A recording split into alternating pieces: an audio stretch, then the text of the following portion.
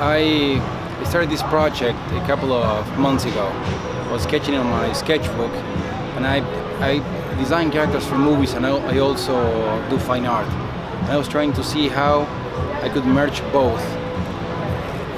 Picking an icon, a personality, and trying to depict it with the, the smallest amount of symmetrical, asymmetrical shapes, but that you could see who was there.